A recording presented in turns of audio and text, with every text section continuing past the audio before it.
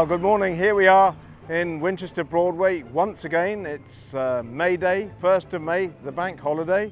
Behind me there are runners drifting through, well, racing through the, the Broadway, but we're soon going to be taking it over uh, with the King Alfred buses. The first one will be here in the Broadway in a few minutes, and then it will be a sea of green and, of course, a whole lot of other colours as we have a number of visiting buses as well uh, for the rest of the day. And we're hoping that the weather will hold. It's okay so far. There's been a few buses drop out in the usual way, no King Alfred ones as yet. Hopefully, all around the area there are people converging on the Broadway, hoping to have a great day. Let's see what happens.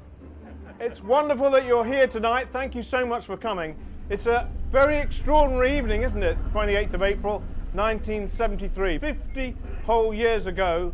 This was the last night of the King Alfred Motor Services. Tonight, we thought we could not let this anniversary go by without noting it. We are delighted that the very last bus was the Panther and the driver of that last bus was Richard Chisnell. He's here tonight. He's going to receive the last ticket again 50 years to the day. I'm I not driving?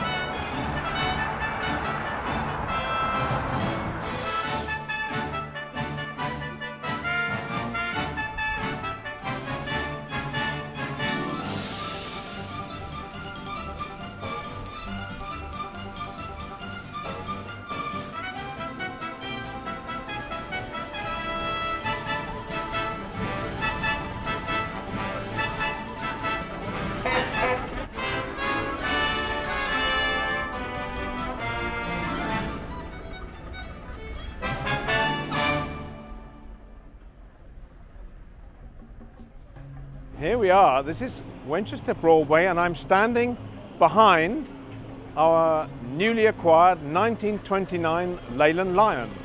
And we're incredibly proud of this vehicle, which isn't actually a King Alfred bus. It started life with Hants & Dorset in Poole.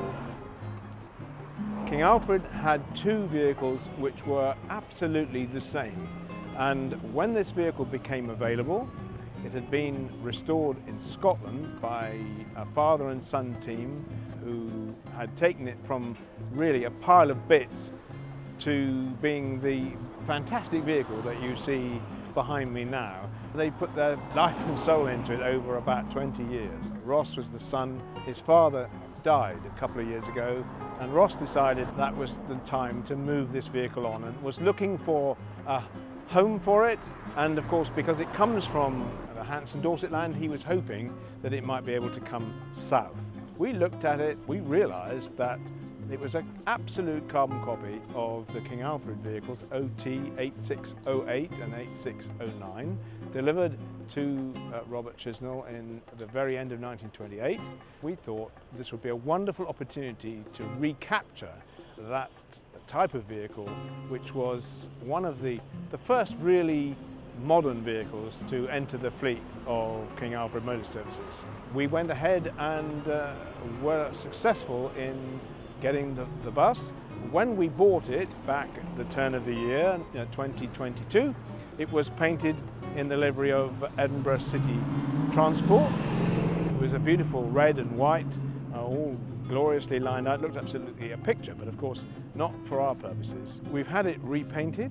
This work was done by a skilled team at the Scottish Vintage Bus Museum where it had been housed and they've done a wonderful job with it, absolutely amazing. And it is in the pre-war Alfred colours, which are subtly different from the post-war, particularly the cream.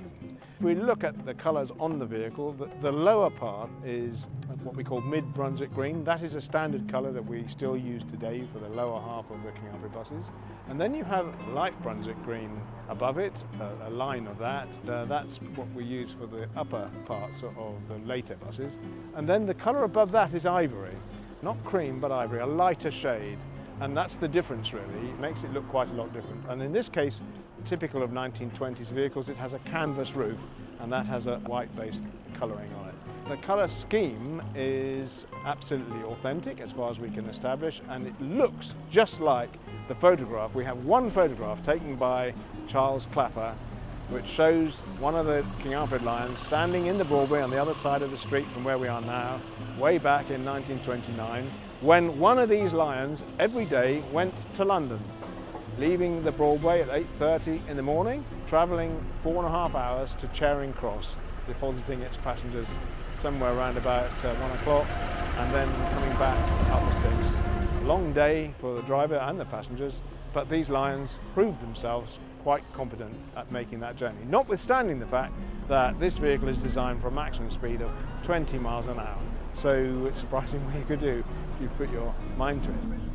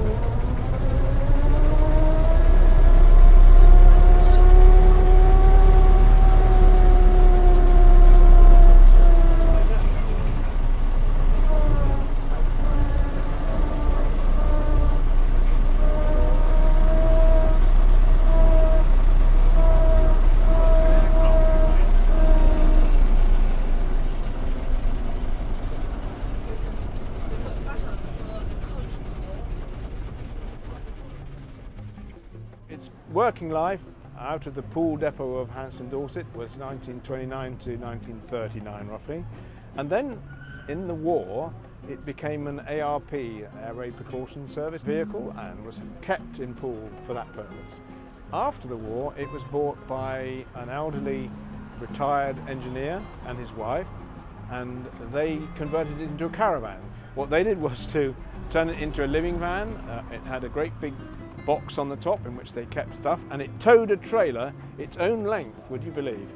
And they travelled up and down the south of England, generally going to shows, for about 10 years. And then the vehicle was made to be static. So they arrived in a, a, village in Devon and they parked the vehicle and it stood there with them living in it for another 10 years, till the mid 1960s, 67 in fact. And then they had become too elderly really to get in and out of it, I think. And so they had to move into uh, an elderly person's home and the bus was friendless for a bit until it was rescued by Winkleigh Transport Collection, by Colin Shears in fact, and taken to Winkleigh while a home was found for it. And a home was indeed found for it in that a business based in Peterborough, so on the eastern side of England, realised that this would be a wonderful thing to turn into a, effectively a lorry, really, a, a van to take their business commodities around. And they were called the Complete Automobilist. And what they did was to service vintage vehicle parts. It was all dolled up by them, presented, and indeed, I saw it myself at the 1970 London to Brighton Rally in May 1970, uh, painted cream. But it wasn't really a practical proposition, it was a very old vehicle, so they passed it on. And, and it spent some time at the Leyland Museum in Lancashire, but uh, wasn't part of their collection. In the end, it was spotted and rescued by a key member of the Scottish Vintage Bus Museum at Lathalmond in the Kingdom of Fife in Scotland. And it was transported north. The task of fixing it was taken up by this father and son team, Dougie and Ross Schooler. They really started about 2003, completely reconstructing the vehicle, took it right back to the ground, built it up again, and what you see now is therefore a combination of several Leyland Lions, quite a lot of new stuff, all put together so that you can see what it would have been like. The whole idea of this is that you can ride in this, you can hear it, you can smell it, you can sense what it was like to ride about. In its day was a revolutionary piece of kit. We're delighted to have this in our fleet. We think it will be a real flagship. We have recently been commissioned at a, one of our suppliers to provide sign writing on this vehicle. Wording on the back here is uh, gold leaf etched in black, all applied by hand. These is not transfers, this is painted on. Look how fine that is. King Alfred, Winchester, and the phone number 68. It became 3868 later on. That is the, the picture. And if you look at the number plate, you'll see that it's not a plate, it's literally written straight onto the glass. And the way that that works is that when it's at night, that is illuminated by the lights inside the vehicle. And if we look on the side of the bus, we can see that it has a King Alfred statue, whereas we use a transfer for the more modern vehicles, these were all sign written and indeed they were painted on each one individually and that's what's happening here. So our sign writer is in process with this, it's not finished yet. You can see that the lower part has been more or less completed but this is gold leaf on which if you look very carefully he's etched in all the detail and very fine detail and then that will be painted out to provide a really stunning representation of the King Alfred statue and the same on the other side. It's a big job and uh, there's several more days work, a painstaking hand done work to make that finish. And the other thing we see is a gold line. This is uh, the lining out as it's called and that's gold leaf again. Doesn't it set the bus off? You can see that a great deal of time and trouble has been spent on restoring this which had started, I mean, it survived for a number of reasons of fate, if you like. Try to get a ride on it.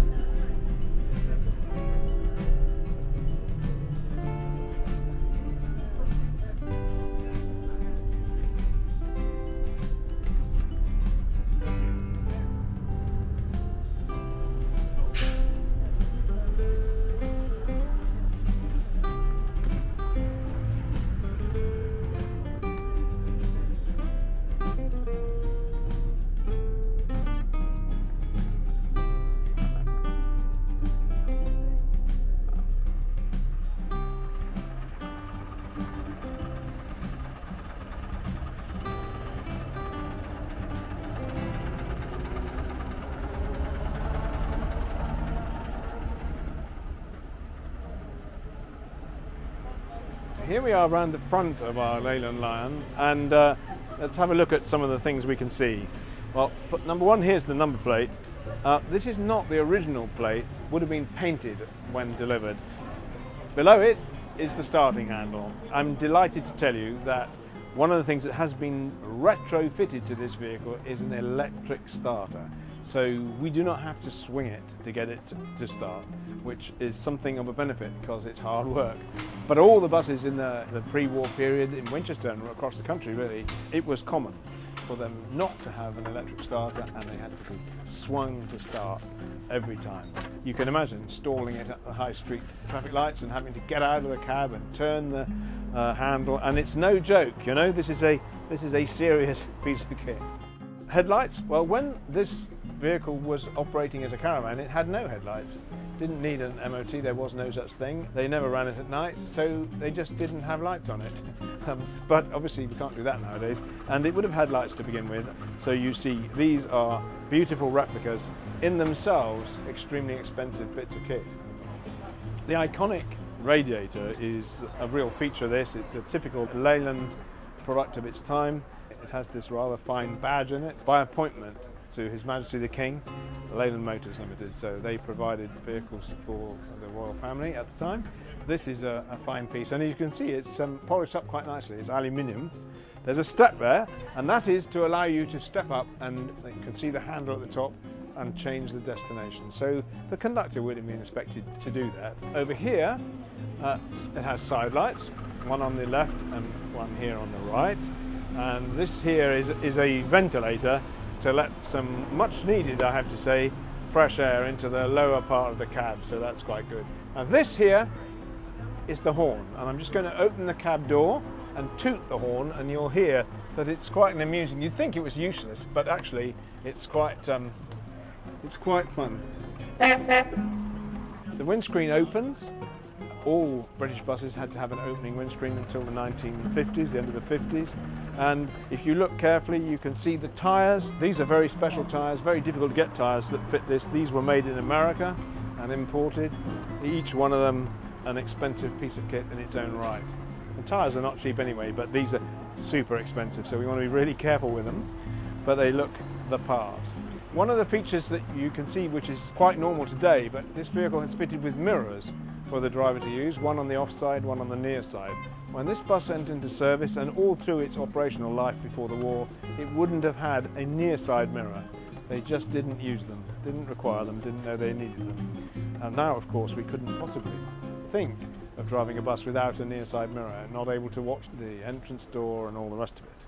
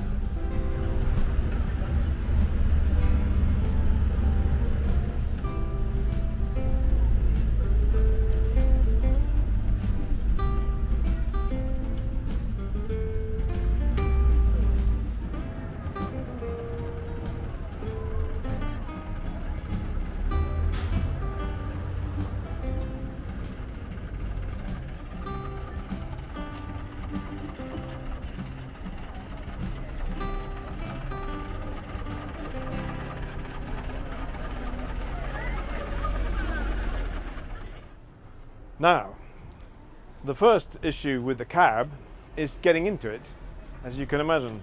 So it's not a straightforward thing, left foot onto there, and then the problem is what to do with your right foot. It goes up to there, yes, okay, but then, and then I'm in. And now you can see that the cab is incredibly um, peculiar, really, in the way that it's managed. Come and see what's happening down at the pedals.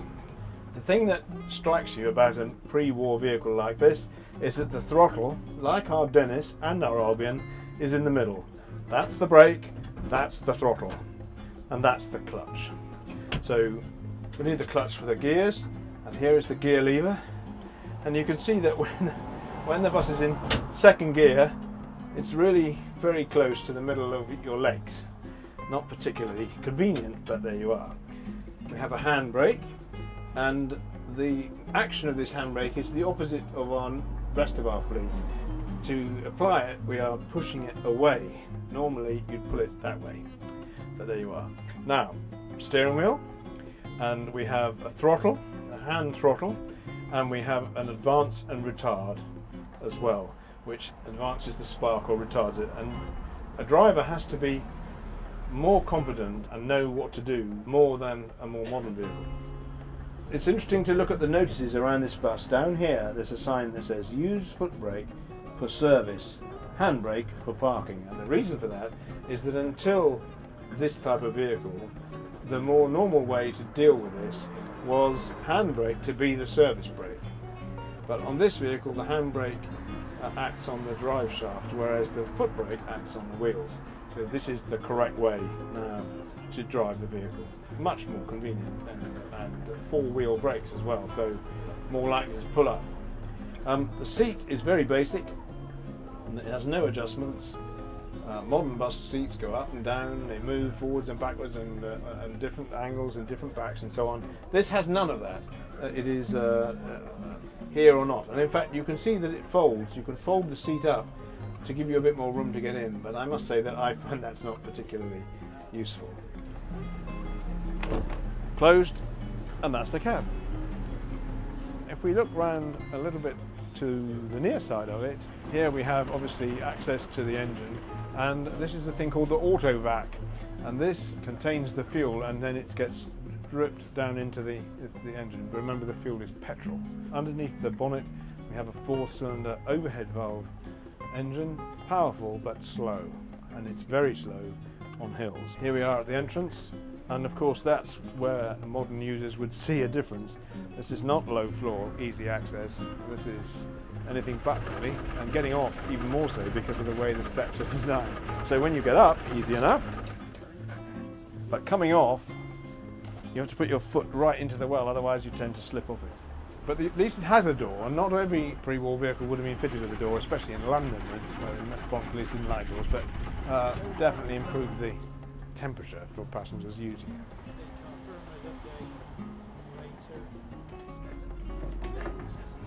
Come aboard.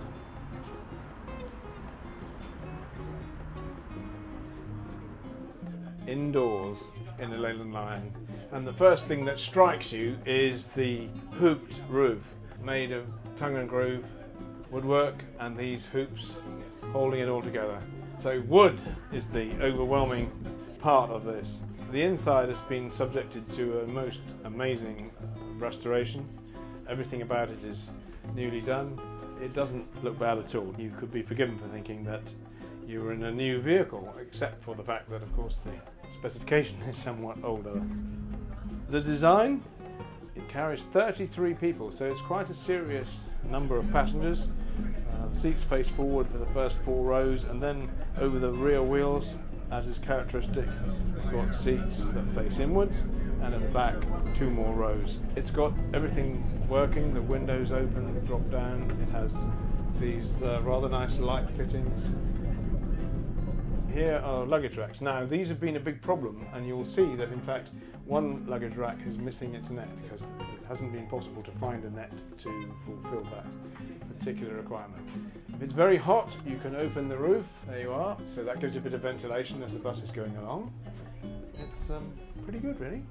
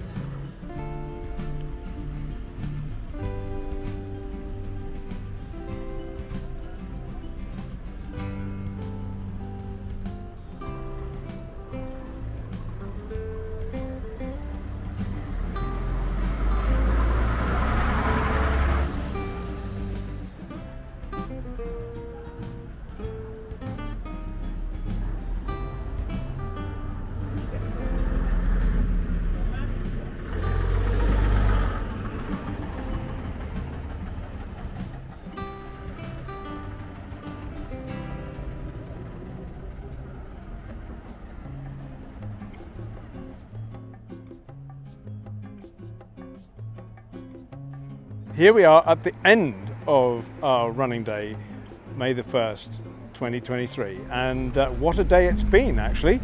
A little bit of rain in the middle just to dampen our ardour for a few happy minutes, but the rest of the time it's been absolutely wonderful. We've seen people coming from all across the country to take a ride on the Lion, of course, but on all our other vehicles. So we've had 13 King Alfred vehicles in operation today and something like 25 visiting buses giving rides and it's clear that we've had one of the busiest running days for many years. That's a real great thing for us uh, because it's all about getting people to come and actually experience our buses. Overall, very pleased with everything. We'd like to take the opportunity of thanking everybody who's been involved in making the running day work because this is our hobby after all and we want it to be fun for the people who've done all the work in preparing the event but also fun for all of you who come and support us. Lots of people have done that. We're really, really delighted and pleased that you've come if you've come and if you haven't, why not come next time? Thank you for coming. Thank you for being part of this. Thank you for watching.